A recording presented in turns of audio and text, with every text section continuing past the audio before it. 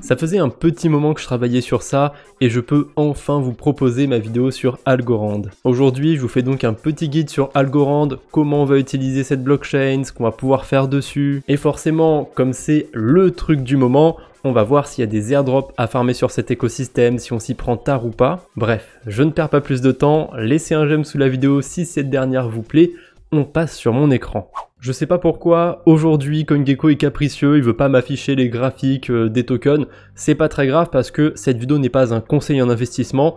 Je vous dis pas d'acheter du algo, de spéculer dessus ou quoi que ce soit, ça va juste être un tutoriel, mais c'est quand même intéressant de faire un petit point rapide sur le token. C'est quand même un projet qui est dans le top 100 crypto, au moment où je fais ma vidéo il est 59ème, donc on parle pas d'un petit projet, il y a une grosse market cap, 1,3 milliard de dollars, et c'est un projet qui a surtout une portée institutionnelle. Mais on retrouve quand même de la DeFi sur cet écosystème. Avant d'aller voir la DeFi qu'il y a sur cet écosystème, il va nous falloir un portefeuille pour utiliser tout ça, et je vous en propose deux dans cette vidéo, ce sera à vous de voir hein, lequel vous préférez. Malheureusement c'est pas ultra facile je trouve de connecter euh, un ledger sur la blockchain Algorand, donc pour l'instant si vous voulez utiliser absolument votre ledger, ça va être assez compliqué. En tout cas je vous propose déjà Exodus, ça ça va être plutôt euh, sur navigateur, parce que c'est une extension qu'on peut ajouter. Le seul petit bémol de ce portefeuille, c'est qu'on peut pas se connecter avec sur certains protocoles du côté d'Algorand. Je vous rassure, les plus gros protocoles dont je vais vous parler aujourd'hui, il n'y aura pas de problème avec Exodus.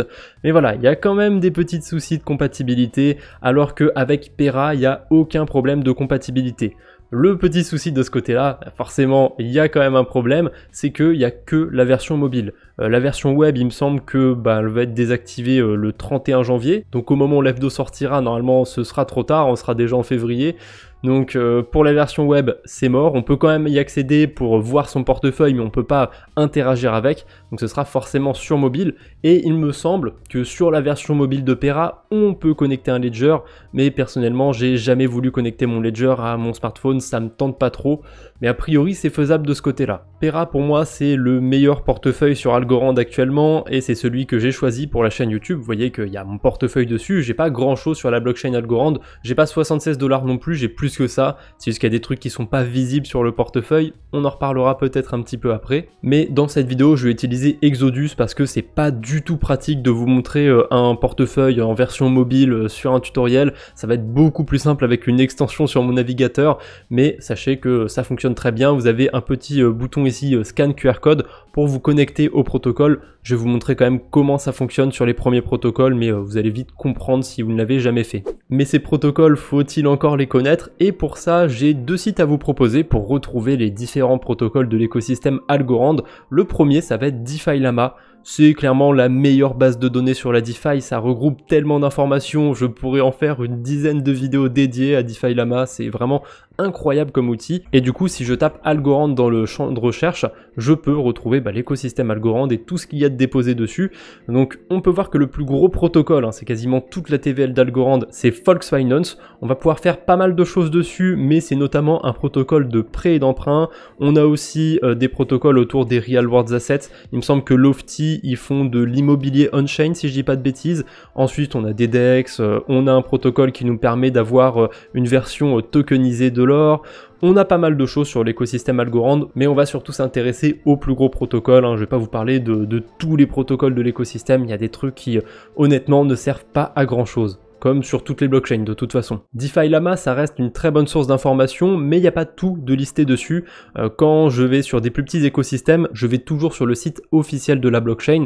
Pour Algorand, on a une partie écosystème, je vous mettrai le lien dans la description, et on peut retrouver bah, tout ce qui existe autour de la DeFi, et même d'autres domaines encore, hein. euh, les bridges, le gaming, euh, l'art et la musique, l'infrastructure, ça je sais pas trop ce que ça englobe par contre, j'ai pas été vérifié, mais voilà, pour ce qui est de la DeFi, il y a quelques trucs qui sont pas listés sur DeFi Lama, je pense à CompX par exemple, on en reparlera un petit peu après. Maintenant, pourquoi ça m'intéresse autant d'aller euh, farmer sur Algorand? Je vous l'ai dit dans l'intro, il y a des airdrops qu'on peut farmer de ce côté-là, et je me fonde pas non plus sur rien du tout hein, pour euh, spéculer sur des airdrops. Très souvent, les projets qui font des airdrops, en tout cas qui en font des intéressants, ils ont levé des fonds au préalable, et on a pas mal de projets sur euh, Algorand qui ont levé des fonds. Il y a déjà le wallet Pera, donc tant qu'à privilégier un wallet sur Algorand, c'est pas bête de privilégier ce wallet là parce que un airdrop n'est pas euh, inenvisageable à mon avis. Je pense quand même que les wallets c'est pas le premier truc à aller farmer en priorité, mais ça peut être intéressant du côté de Pera Wallet. On a des interactions qu'on peut faire directement sur le portefeuille. On a un petit bouton swap ici. Pour moi c'est pas anodin ce genre de fonction. Ça laisse une trace entre guillemets comme quoi on a bien utilisé euh, le wallet Pera et à mon avis si on veut farmer euh, du coup l'airdrop de Pera il faut faire des swaps en étant sur le wallet en passant par là. Ça garantit rien évidemment, mais c'est plutôt intéressant. Le seul petit bémol par rapport à Pera, c'est qu'on sait pas combien de fonds ont été levés. Néanmoins, c'était il y a pas si longtemps, c'était en septembre 2023, parce que vous allez le voir sur les autres projets qui ont levé des fonds euh, sur euh, la blockchain Algorand, c'est des dates qui sont bien plus anciennes que ça. Là, on a Fox Finance, donc le plus gros protocole de la blockchain Algorand, qui a levé 3 millions de dollars et c'était en janvier 2022. Vous voyez que là ça commence à remonter, ça fait euh, un peu plus de deux ans, donc c'est quand même pas mal. Et euh, bah, c'est encore pire si on regarde Pact Finance et Tinyman. Ça c'est les deux DEX principaux de la blockchain Algorand. Pact Finance, ah non, c'est pas pire, c'est un petit peu mieux, c'est février 2022. Là aussi, ça fait à peu près deux ans, mais pour Tinyman, c'est encore plus vieux que ça. Les fonds, ils ont été levés carrément en octobre 2021, et on n'est pas sur des très grosses levées de fonds. Vous voyez que là on est sur du 2 millions et demi de dollars, Fox Finance 3 millions de dollars, il y a peu de gens qui s'y mettent, donc je pense qu'on peut être agréablement récompensé là-dessus. C'est à peu près sûr qu'il y aura des choses sur cet écosystème. Maintenant, c'est bien sympa, mais comment on fait pour bridger éventuellement des cryptos sur cet écosystème? Déjà pour ce qui est du algo, vous êtes grand, je vous laisse en acheter euh, tout seul sur des exchanges ou peu importe comment vous y prenez. Ça, je pense que c'est dans vos cordes. Maintenant, pour ce qui est de bridger des stablecoins, par exemple, pour aller faire des carabistouilles sur Algorand, il y a moyen de le faire. Et le bridge principal pour faire ça, c'est Messina. Sur Messina, on va même pouvoir retrouver du liquid staking, on en reparlera plus loin dans la vidéo, mais euh, pour l'instant, je m'intéresse qu'au bridge sur Messina et euh, je vais envoyer quelques USDC de Polygon à Algorand. Ce qui est assez intéressant pour l'USDC, c'est qu'on peut l'envoyer depuis toutes ces blockchains. Vous voyez, Ethereum, Polygon, Avalanche, Arbitrum, BNB Chain, Optimism, Base. Donc ça laisse quand même pas mal le choix. Faites attention, sur Arbitrum, sur Optimism, euh, sur Polygon aussi, on a deux versions de l'USDC la version 2 Circle et la version bridgée depuis Ethereum, il faut bien la version 2 Circle pour pouvoir utiliser le bridge. On a aussi de l'USDT sur Algorand, mais on va pas pouvoir le bridger sur Messina, il n'y a que l'USDC, et selon les écosystèmes, il y a quelques autres shitcoins qu'on va pouvoir euh, échanger, mais je suis pas sûr qu'il y ait un grand intérêt euh, d'envoyer du PP euh, 2.0 par exemple sur Algorand, après vous faites ce que vous voulez. Donc, bah, j'ai lu les termes et conditions, hein, comme tout le monde. je pense qu'à chaque fois que vous inscrivez sur un ou sur un réseau social, vous lisez euh, les 500 euh, lignes de, conditions avant de vous inscrire, hein, bien évidemment. Donc je passe en revue ma transaction, j'ai envoyé qu'une dizaine de dollars. D'ailleurs je ne l'ai pas dit, mais on peut envoyer 10 USDC minimum. Bon, je suis pas sûr que vous ayez besoin d'envoyer moins de 10 USDC, mais au cas où vous le savez. Euh, du côté de Polygon, c'est vrai que les transactions peuvent prendre du temps, et du coup ça peut prendre entre 30 minutes et 3 heures. En tout cas pour l'instant je vais confirmer, je vais passer ma petite transaction. D'abord je dois euh, approuver mes USDC, donc euh, bah, j'approuve que la quantité d'USDC dont j'ai besoin. Et maintenant que c'est approuvé, je peux passer ma transaction, je vais bridger mes USDC, et je vais vous faire une petite coupure, je vous montrerai comment ça se passe une fois que les USDC sont bridgés, parce que ça apparaît pas tout de suite sur votre portefeuille, il faut euh, revenir sur le bridge Messina et faire une petite transaction. Donc dans le doute, tant que vous faites le bridge, ne quittez pas la page de Messina. Il me semble qu'on peut retrouver sa transaction, mais je vous déconseille euh, de fermer la page de Messina. Tant que le bridge n'est pas terminé, gardez-la ouverte. J'ai changé de pull Comment ça se fait? Eh ben, en fait, j'ai oublié de récupérer mes USDC sur le bridge. Voilà, tout simplement. Donc, euh, on est le lendemain, au moment où je suis en train d'enregistrer. Et au moins, ça me permet de vous montrer comment ça se passe. Quand on a fait la même bêtise que moi, qu'on a fermé la page, euh, qu'on est parti faire sa vie, et qu'on revient le lendemain pour aller récupérer ses USDC. Vous en faites pas, ils sont pas perdus. Pour ça, on retourne sur le bridge, sur Messina, on connecte bien son portefeuille, hein, le même avec lequel on a fait la transaction, sinon bah, vous allez avoir un peu plus de mal. Et euh, on a juste à aller sur Resume Bridging juste ici, hein, avec le bon accent français. On choisit si c'est euh, une transaction de type token ou NFT, parce qu'a priori on peut bridger des NFT sur Messina. J'ai pas essayé, pour ma part, c'est des USDC, donc c'est un token. Et en fait, j'ai juste à mettre euh, la blockchain que j'ai utilisée et le hash de transaction. Donc c'est quoi le hash hein? C'est pas illicite, je vous rassure, hein, c'est euh, l'identifiant de la transaction si vous préférez. Pour ça, vous pouvez le récupérer directement sur votre portefeuille. Moi, j'aime bien utiliser D-Bank aussi. Je peux voir mon historique de transaction et comme j'ai fait la transaction il n'y a pas très longtemps, vous voyez, je peux la retrouver juste ici et j'ai plus qu'à cliquer là pour récupérer mon hash. Ça va m'emmener sur l'explorateur de blockchain et le hash, on le retrouve tout en haut sur Polygon Scan, c'est cette longue série de caractères. Je retourne sur Messina, maintenant que j'ai copié mon hash, je peux le mettre ici, et euh, je connecte évidemment euh, mon wallet sur Algorand, je choisis la blockchain de destination, et normalement je vais pouvoir euh, reprendre mon bridge comme si de rien n'était. Voilà, ça m'amène sur cette page. Normalement, si vous ne fermez pas le bridge, vous allez atterrir aussi sur cette page une fois que la transaction elle est euh, confirmée. Maintenant, du côté d'Algorand, il manque plus qu'à faire le claim. Attention, hein, quand vous voulez bridger des USDC, il faut avoir au préalable déjà un petit peu de token Algo sur son portefeuille pour payer les frais de transaction. Les frais sont relativement faibles, hein, donc si vous avez même 1 ou 2 dollars d'Algo, vous serez tranquille pour un petit moment. Donc j'ai cliqué sur Claim. Et euh, bah là, comme j'ai utilisé euh, le wallet sur mon téléphone, j'ai plus qu'à valider euh, la transaction sur mon téléphone. Voilà. Après Messina, on a aussi un autre bridge, c'est Algomint. Alors celui-ci, ça va être que pour le BTC et que pour l'Ethereum. Il me semble que c'est le Bitcoin sur le réseau Bitcoin et l'Ether sur le réseau Ethereum. J'ai pas testé ce bridge à vrai dire parce que là, euh, c'est un petit peu hors de mon budget. Les transactions sur Bitcoin et sur Ether coûtent euh, un bras en ce moment, donc j'ai pas spécialement envie d'en passer juste une pour tester. En tout cas, pour ce qui est du bridge, on peut envoyer au maximum de Bitcoin et au minimum 500 000 Satoshi. On a 0,2% de frais plus euh, bah, un tout petit peu de, Bitcoin en frais, enfin un tout petit peu, c'est quand même 10 000 Satoshi, c'est pas rien non plus, et vous allez recevoir du GoBTC. Le GoBTC, du coup, c'est le, le Bitcoin bridgé par Algomint. On peut aussi faire le chemin dans l'autre sens. Par contre, j'ai pas testé, je sais pas si c'est long, je sais pas si c'est chiant ou quoi. Donc si vous avez des retours euh, par rapport à ce bridge, n'hésitez pas dans les commentaires. Pour ce qui est de l'Ether, euh, voilà, c'est pareil, hein. on peut envoyer une vingtaine d'Ethereum maximum, 0,05 euh, Ether minimum. On a des frais, encore une fois, quand on veut bridger. C'est pas dégueulasse quand on est une baleine et qu'on veut bridger plusieurs Ethers, mais c'est vrai que si on veut bridger la quantité minimale, ça peut piquer un petit peu, je trouve. Bon, là, on a vu la base le portefeuille, les bridges et compagnie, les protocoles éventuellement qu'on peut retrouver sur cet écosystème. Maintenant, on va rentrer un peu plus en détail. Qu'est-ce qu'on peut faire sur les différents protocoles sur la blockchain Algorand? Je vais commencer tout naturellement par Volksfinance parce que c'est le plus gros protocole de la blockchain Algorand et dessus on peut entre autres faire du euh, lending, donc déposer des cryptos pour avoir des intérêts dessus. On va pouvoir aussi emprunter des cryptos. C'est un petit peu particulier le système d'emprunt. Il faut créer une position d'emprunt. Pour la science, j'ai voulu essayer d'ouvrir une position euh, d'emprunt pour voir comment ça se passait. Et euh, bah, j'ai beau essayer de changer le nom, essayer de changer le type d'emprunt, il n'y a, y a rien qui marche, ça veut pas. c'est pas très grave. De toute façon, je m'étais pas concentré dessus sur le protocole, je m'étais surtout concentré sur, euh, sur le dépôt. D'ailleurs, vous voyez que sur mon adresse, j'ai déposé un petit peu d'USDC ça, je l'ai vraiment mis pour la science, hein, mais j'avais mis un algo pour voir comment ça se passait. Et euh, bah, ça se passe euh, très simplement. C'est comme sur AAV, vous cliquez sur le petit bouton euh, Deposit, vous choisissez combien vous voulez déposer, et voilà, hein, c'est déposé, vous les retirez ensuite quand vous voulez, quand il y a des liquidités disponibles aussi. Parce que sur les stablecoins, pour l'instant ça va, il n'y a pas des, des, taux abusés, mais des fois il y a beaucoup de stablecoins qui sont empruntés. Je suppose que quand les stablecoins sont empruntés, c'est à cause de la fonction ultra swap qu'on peut retrouver ici. Et en fait, c'est tout simplement du levier à la hausse ou à la baisse sur une crypto. Et comment ça se passe du coup pour parier à la hausse ou à la baisse? Eh ben, ça se passe en empruntant des stablecoins. Vous allez euh, déposer du Bitcoin par exemple et emprunter des stablecoins pour acheter du BTC, etc., etc. Vous voyez qu'on peut faire la boucle jusqu'à x8 ou x5 sur Algorand. Et il n'y a pas très longtemps encore, il y avait des rendements qui étaient très élevés sur les stablecoins. Je suppose que c'était à cause de ça, à cause des gens qui pariaient à la hausse. Là, le taux sur l'USDC euh, a bien baissé. On a 6% d'intérêt en USDC et 5% en algo.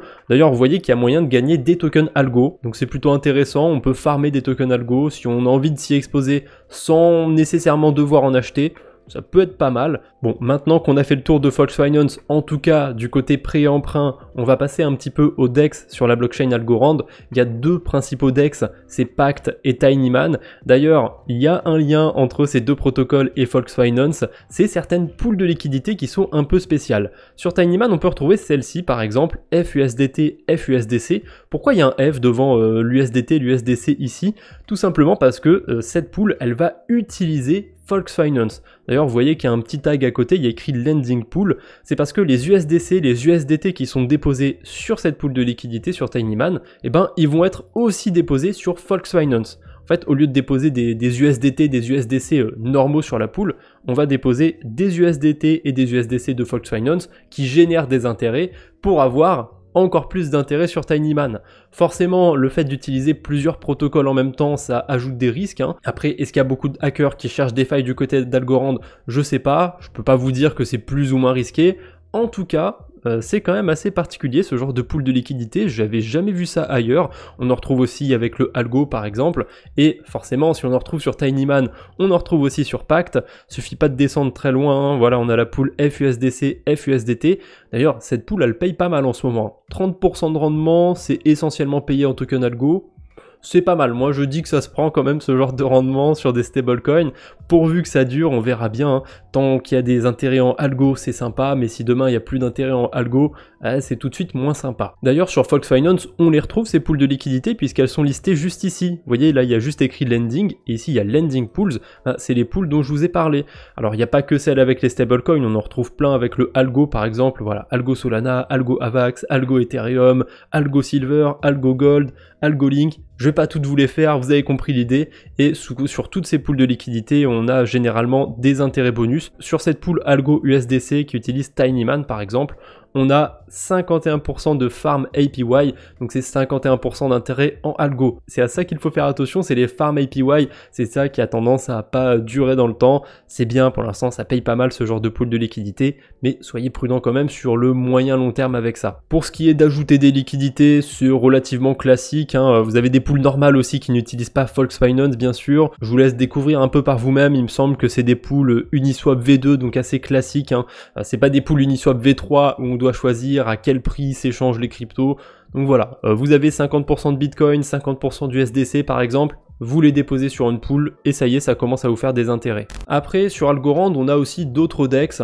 Bon, on a Humble Swap qui est pas mal non plus, ils ont pas de token aussi, donc on pourrait éventuellement euh, spéculer sur un airdrop. Par contre, je sais pas pourquoi, mais euh, déjà je peux pas connecter Exodus dessus et j'ai essayé de connecter mon wallet Pera qui est sur mon téléphone, j'ai scanné mon QR code et compagnie, je vais vous montrer d'ailleurs comment ça se passe pour connecter un wallet Pera quand vous êtes sur votre téléphone et que, vous interagissez sur votre PC, vous cliquez sur Pera, et là, je, vais le flouter bien évidemment, mais vous avez un QR code à scanner, et j'ai beau scanner ce QR code, ça a beau marcher, hein, j'ai beau valider sur mon portefeuille Pera, ça veut pas se connecter sur HumbleSwap sur mon PC. Alors que bah, du côté de Fox Finance, je suis connecté avec mon wallet Pera.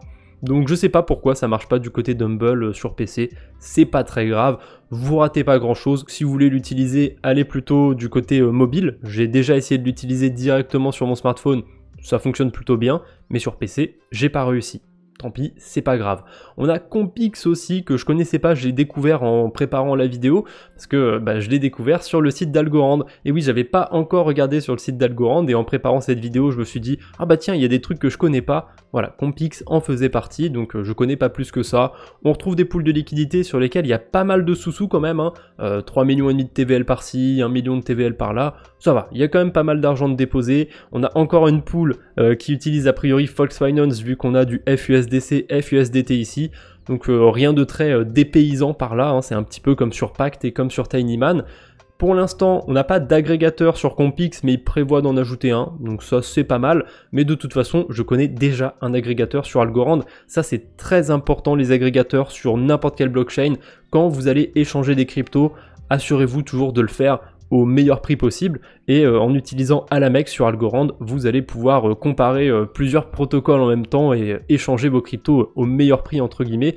là par exemple, si j'avais besoin d'échanger du Algo contre de l'USDC, j'aurais pu aller sur Tinyman, j'aurais pu aller sur Pact. A priori, c'est pas ça le plus optimal à faire d'aller directement sur un de ces deux ex, c'est d'éventuellement utiliser plein de protocoles en même temps. Si typiquement j'essaye d'échanger 10 000 Algorand, vous allez voir qu'il va me trouver des routes assez débiles qui sont pas faisables humainement. Je laisse un petit peu le temps de rechercher. Finalement, j'ai triché, j'ai mis 100 000 algos parce qu'avec 10 000, j'avais pas un résultat assez euh, satisfaisant. Là, vous voyez que mes algos, ils vont passer par trois chemins différents en même temps, sur plein de protocoles en même temps. Ça, c'est clairement quelque chose qui est pas faisable humainement et du coup c'est pour ça que c'est très intéressant d'utiliser des agrégateurs. D'ailleurs il est déjà en train de chercher s'il n'y a pas un meilleur chemin, je pense pas, hein, voilà, il est resté sur le même chemin on dirait, Voilà, je vous mettrai le lien d'Alamex dans la description, mais on pourrait peut-être ajouter éventuellement Compix plus tard. Vous avez aussi le lien dans la description de toute façon. Tiens, par curiosité, j'ai voulu voir si on pouvait connecter Exodus à Compix et on peut pas. On est obligé de passer par euh, Pera par exemple.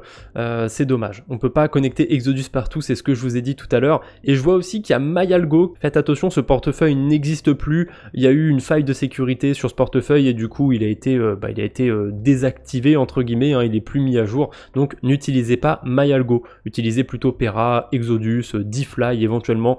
Il y en a d'autres encore, mais euh, Pera et Exodus pour moi, c'est les principaux. On a vu le lending, on a vu les poules de liquidité.